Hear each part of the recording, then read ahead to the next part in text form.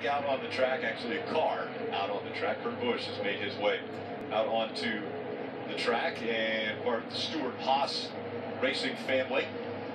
I, I, don't care if it's one car, 40 cars, Rick. I'm ready to see a car on the racetrack. Kurt Busch, surprisingly, zero wins in Motor International Speedway. I mean, it shocks me. This you talk about aggressive drivers, emotional drivers.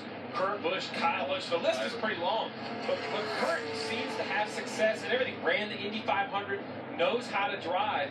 It, it, really shocks me to think that he hasn't found his way to victory lane. 28 career wins for Kurt Busch, a native of Las Vegas, Nevada, and none of them have come at Daytona. Mortality, 61. Yes.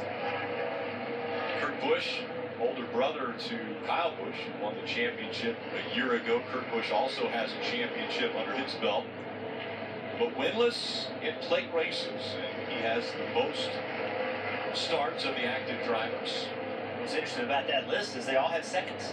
Yes. So that makes it worse because you go you go home and you're like, well, I almost won, but I never did because I finished second. So you know, every one of these drivers has put themselves in an opportunity to win the race. They all feel like they can. And, you know, this is, talk about it all the time, Daytona is an opportunity for smaller teams to get a win. It's an opportunity, you know, everybody with this race starts has a chance to win this race. And, and if you haven't won, you want to be a road course winner. You want to be a plate run race winner. You want to be a short track winner. You want to win every category that you can win. I promise you, he wants to knock that off. I really expect to see multiple. You see here some major sparks, kind of a little self-clearance is what we call that. Yeah, Jake, we're making a clearance in the car, but I expect teams to have multiple approaches to this practice. As I walked through the garage today, the crew chiefs, I ran into the 18 car. How do they feel about February? Man, they ran pretty good in February. Looking forward to July. We ran into the crew chief for the 22. Todd Gordon said, oh, February was an issue. They were out of the gas off turn two, very tight. So I think there's a lot of teams in the garage here that need racetrack time to work on their cars. So we're going to see a lot of guys with weather in the area. I think a lot more urgency earlier in this practice. And you can hear it. You can hear the car. Here's Jamie Redmond. Still. And the lightning strikes have come back, and you hear the RPMs go down on Jamie McMurray's car. Just two miles away was the lightning strike and actually a little bit of precipitation on that camera as we're riding along with Jamie. So a little bit of rain. The lightning is the reason for the caution. Uh, the possibility exists, though, that precipitation will be another issue that these drivers will have to deal with. Kyle Larson, another driver that we've touted as being talented and yet hasn't been able to find victory lane in his Sprint Cup Series career.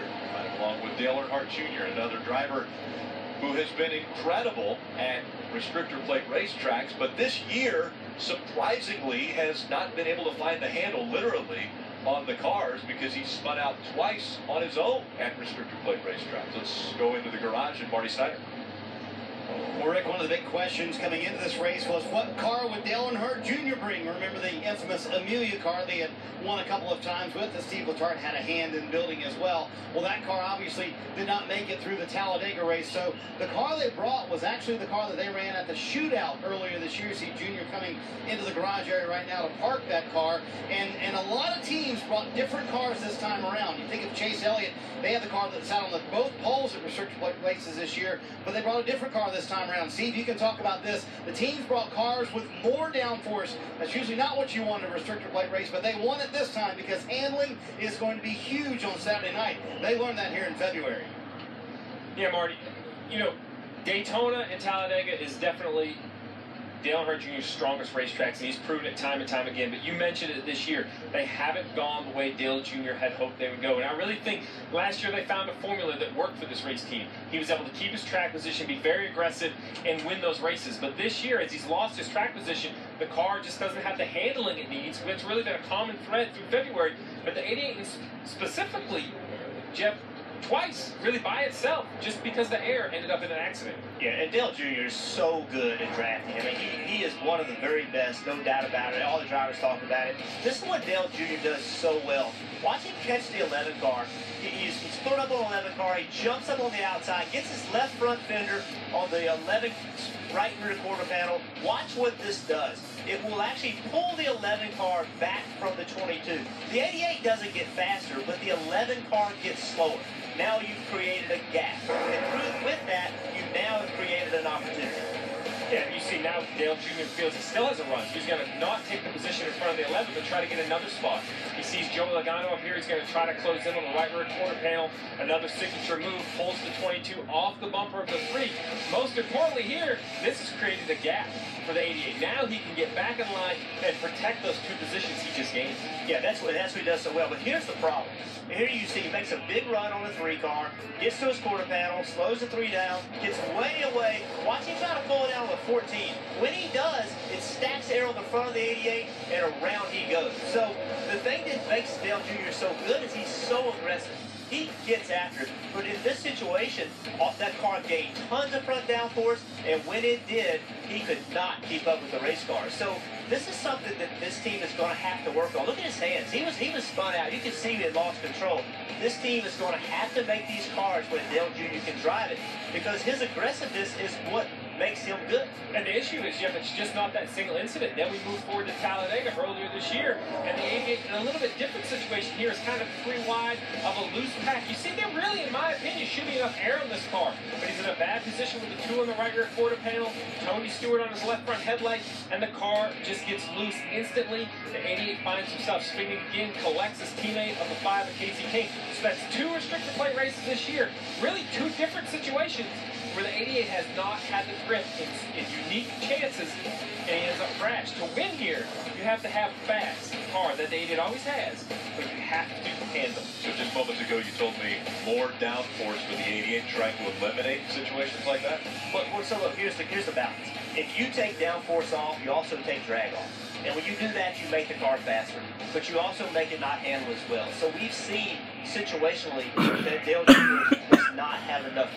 The easiest way to get that back is to dial a little more downforce in it. But the negative of that is it makes the car slower.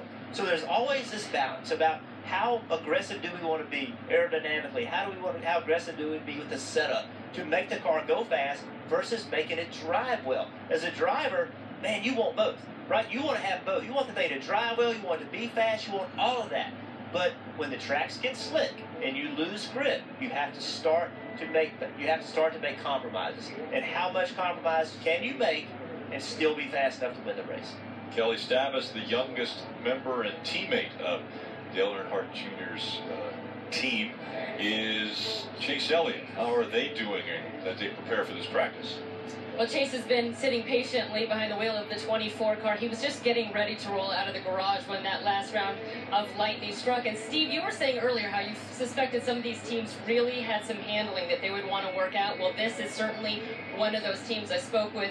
Chase's crew chief, Alan Gustafson, this morning, and I said, What's your strategy for practice today? And he said, Look, we want to run as much as we can. We want to get as much practice in as we can. He said, The frustrating thing is, you come out here to Daytona in February for 10 days for speed weeks, but no one really practices. Then we get out there for the race, and we have all sorts of handling issues. You'll remember in the 500, Chase started on pole, but wrecked really early in that race. So they want to get as much as they can. This lightning certainly not helping their cause um, as they really want to work things out, especially with the different uh, weather conditions that they'll face here in July, June, I should say, versus what they saw in February.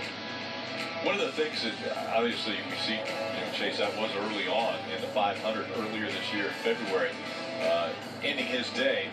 And actually, they worked very diligently to get the car back out for a few laps. But the the difference today potentially could be that there's cloud cover over this racetrack, which means a little closer to what they would experience on Saturday night. Yeah, you know, the problem with it seems when you show up in February, there's not been a lot of cars on the racetrack. The track tends to have more grip. When you come here in July, whether it's sunny, whether it's at night, it just never seems to have the grip. Even when the sun goes down, the air temperature is very high, the grip level is very low.